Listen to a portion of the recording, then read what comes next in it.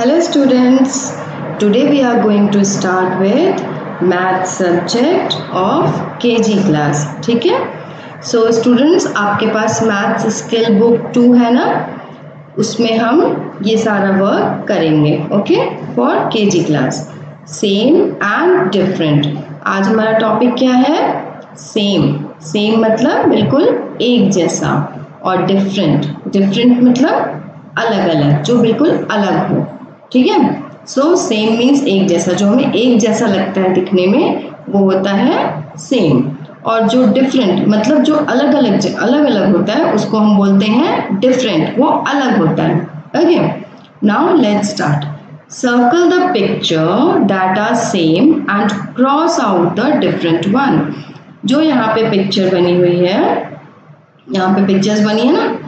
उनमें हमें ये देखना है कि इन तीनों पिक्चर्स में से कौन सा इसके जैसा है वो आप उसमें सर्कल करोगे और जो डिफरेंट है उनको क्रॉस कर देंगे ओके चलो एक बार एक्सरसाइज देखते हैं कैसे करना है इसको ओके ये किस चीज़ की पिक्चर है? Apple very good A for apple अब यहाँ पे आपको एप्पल की पिक्चर सेम टू सेम कहीं दिख रही है?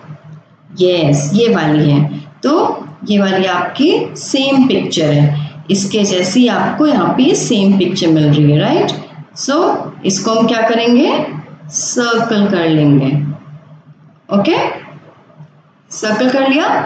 और ये तो बनाना बना हुआ है तो इसको हम क्रॉस कर देंगे क्योंकि इस पिक्चर से ये पिक्चर डिफरेंट है। और ये किस चीज़ की पिक्चर है? स्ट्रॉबेरी की। इसलिए ये भी क्रॉस होगा।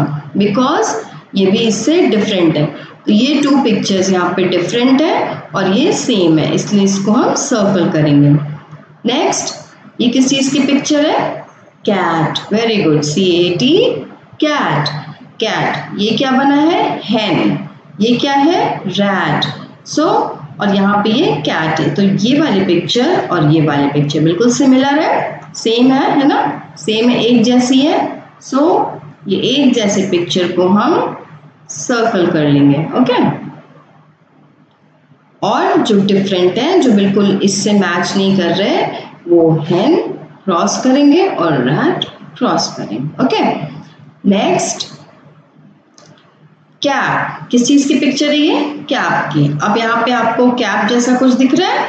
यस yes, ये वाला। सो so, इसको हम सर्कल करेंगे। ये सिमिलर है सेम है ना? पिक्चर कैसी है? सेम है। किसकी तरह? इस वाले पिक्चर की तरह। बट ये पिक्चर और ये पिक्चर इस पिक्चर से डिफरेंट है। बिल्कुल अलग लग रहा है देखने में। तो ये अलग है तो इसको क्रॉस कर देंगे। ये भी अलग है, इसको भी क्रॉस करेंगे। ये क्या है? ये एक वुल्फ है। ठीक है?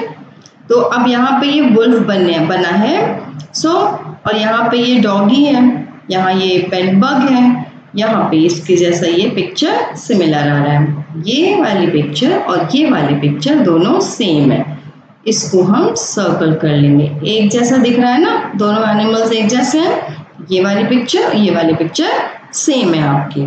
और ये और ये डिफरेंट है।